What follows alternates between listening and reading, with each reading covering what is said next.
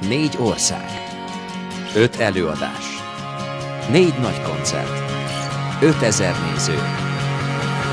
V4 Fesztivál és színházi találkozó. Gyere jöjjön!